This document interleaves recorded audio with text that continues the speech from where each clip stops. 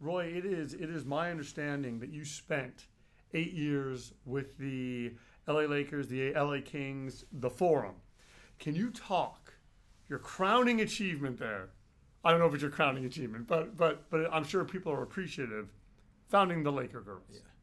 Well, that would probably be if in fact it was something that is still remembered and is still very visible, it would be the Laker girls. Um, I was with the LA Lakers, the LA Kings, and the Forum. At that time, one man, Jack Kent Cooke, owned the both teams and the Forum. So I was director of promotions, and so you did it all. Uh, the Forum, for those that remember, and we're talking 1975, they they had a Wurlitzer organ and that was the entertainment that would happen at every Lakers game or Kings game. And here I was, uh, 30 years old, coming from UC Irvine to the Forum as an executive. And I didn't think the Wurlitzer organ was really that exciting to play between time and during timeouts and so forth. That's all they had for that big all, building. That's, that's all they had was a Wurlitzer organ. Because remember, Jack Kent Cooke was a very proper guy, Canadian. And so I went to Mr. Cooke. I said, Mr. Cooke, could we, you know, could I'm thinking of some live music to bring, kind of get the excitement in the building. And then he would say, Roy, the Wurlitzer organ is a wonderful instrument. We will have just organ music. Well, I knew I wasn't going to win that fight, but I was able to find a, a guy from Southern California, California named Joe Tripoli who was a very good organ player and he's a young guy and he played some more upbeat organ tunes. And i hired joe tripoli to be the organ guy organ player. So you were going to mess with that organ one Absolutely. way or another. and bring it up there. Well there funny story. And be, even before we're going to talk about the laker girls how i almost lost my job at jack and Cooke. i went to mr Cooke and said mr Cooke, could i bring in some bands high school bands to play before the game starts. Because I always feel that when you, when as a fan, if you walk into the building and there's some real live music being played, it kind of gets the energy. And he said, Roy, that's fine with me. But the Wurlitzer organ will play during the games. So I sent letters out to a lot of high schools saying, hey, would you like to come and play pregame at Laker games? We got a number of responses, and I'd send them 120 tickets, whatever they would need. And they would come and play, and it'd be it'd be a high school band with a lot of uh, snare drums and uh, horns and so forth, and they were playing basic high school band stuff. Well, this I remember this was a Sunday game, and those pe- people that remember the forum, we had the forum scoreboard, and I had Costa Mesa High School band was supposed to play. So I had a whole lot of other things I had to do before the game and so forth. So I wasn't thinking very much. And then all of a sudden, one of the ushers grabbed me and said, Roy, the scoreboard, they're calling you. And I saw on the scoreboard, Roy Englebrecht, please call security. So I go into the print shop, which was off the main floor, call them. And they said, Roy, at the tunnel, we've got the Costa Mesa band here, but they don't have any tickets. I'm thinking, wait a minute, I sent them tickets.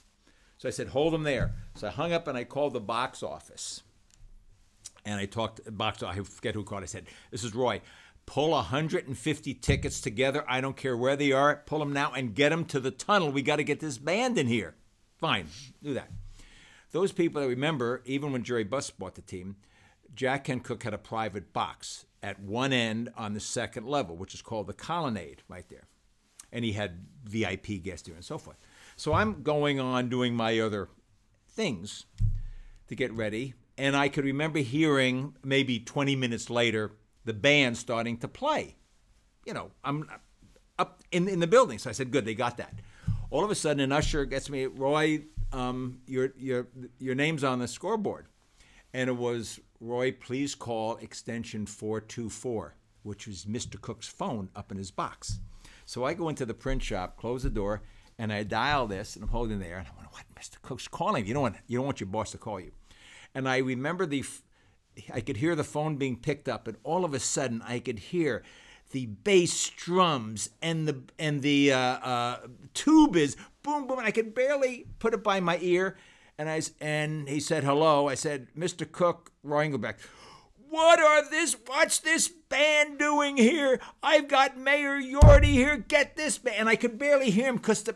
And what the box office guy had done, I said, pull him any place. He had pulled 150 seats all around Mr. Cooke's private box. And here's the Costa Mesa band. And then Mr. Cook said, Roy, I thought you knew better than this. Get this band out of here. Clunk.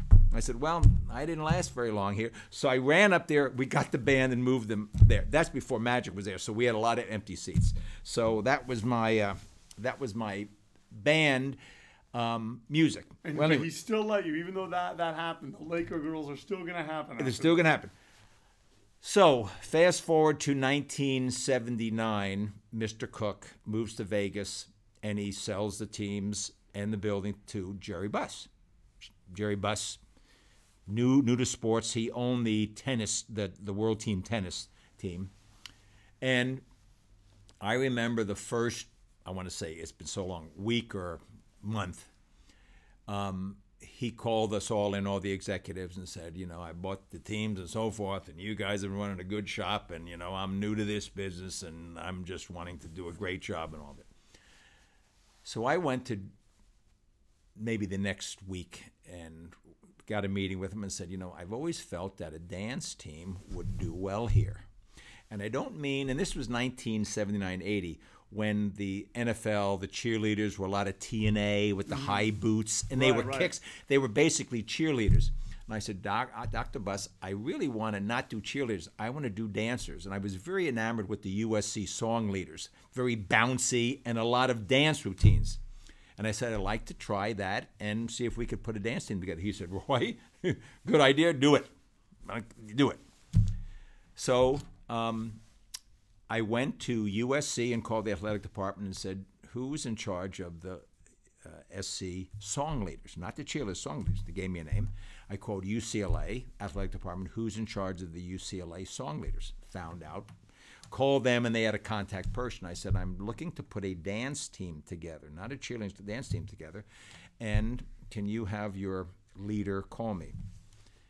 We did, and I picked a night, an afternoon at the Forum when there wasn't a game going on, and I had these eight girls. No, I think it was two girls, Dolly Zachary and Lori Ryan. Lori Ryan was had been on the cover of Sports Illustrated as an SC song leader. Absolutely beautiful girl. Sat down and said, "Girls, I've got the okay. I want to put together a dance team, a Laker girl dance team." And no, the NBA had not done anything. This was brand new. Every NFL team had these cheerleaders and they said, I don't want it to be a TNA. I don't. I want it to be very wholesome and upbeat. And they were so happy that we were not going to exploit them, even though back then it was TNA and it was as much as you could get away, away, away with. Um, and are you interested? And I want to do it where we kind of have the girls from SC and UCLA. I want let's do eight girls, four from each school. Can you do that? Boy, we can do it. So uh, we're a month or two before the start of the season. And I'm a firm believer that you never tell anybody in the media so that you're putting a dance team together. Because if you let the word out that, hey, the Lakers are going to get a dance team, everybody has their own preconceived ideas of what that should be like. Right. And when you break it and it's not like they thought, they don't like it. Or it's like, what's this going to do to the play of the game? When is this going to happen? When is Absolutely. this? This was complete s- secrecy. And I said, "Can you, how long is it going to take you to do one 50 second routine?" Well, we get the girls together, we got to practice. It could take two or three months on that. Fine. We got them together. I found uh, uh, two designers in LA at the Garment District, named two ladies named Spicer and Spicer. Met with them and I said, "Can you create one outfit, purple? Because we were purple and gold. Yes." I had the girls go down. We didn't. This is before Nike would do anything. I just went to a store and bought. All the girls got their size. We we bought them the same shoes.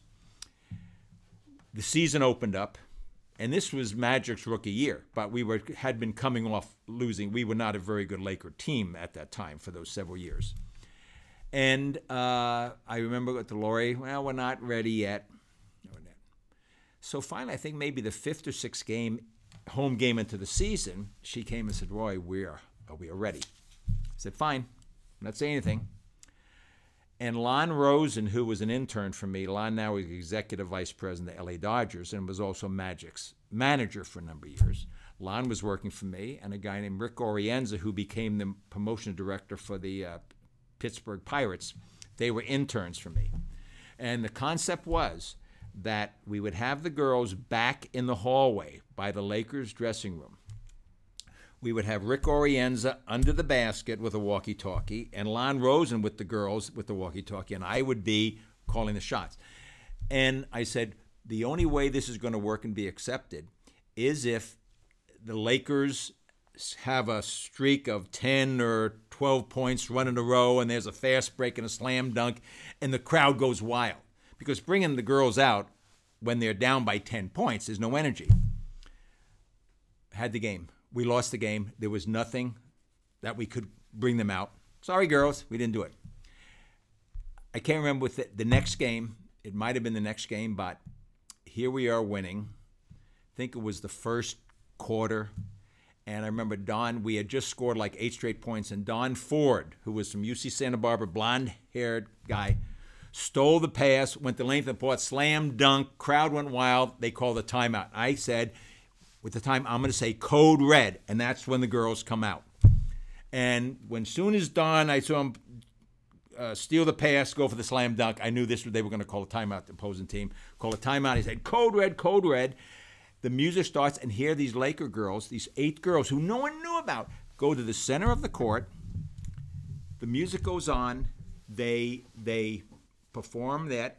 Perform the dance, and I told the PA announcer then, all you're going to say at the end is the Laker girls. They would run off. They came out, and I remember the crowd kind of murmuring. What you could hear some. What's what's going on? They came. They did the routine. He said the Laker girls. They ran off the court, ran completely back in the tunnel again, and there was some. Wow, yeah, some response from the crowd. They never performed again that night. That was it. And the next day in the LA Times, that's when we were covered. There was a little bit that hey, last night the Lakers debuted their new dance team, the Laker Girls. The next show, the next game, they came out again, did one routine, and went back. And it was only maybe after 10 games that they actually came and sat on the court and stayed there and performed. And here we are in 2019. The Laker girls are still idolized and still wow But them. they're on the court all the. I mean, They're on the court now all I the time. remember from going to see them at the forum, Yeah. and we're. I mean, they they are they're on the court the, court. the whole time. But they didn't start that way. We just didn't want to. And they were just accepted because no one knew what was happening on that.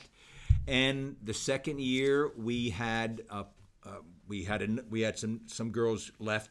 Then we had Paula Abdul tried out and made the team. And I thought to myself, boy, you know, if I could take this concept to the other NBA teams, we would come in and and organize them and judge them and pick the girls and had Paula Abdul, who at that time was a choreographer for Michael Jackson.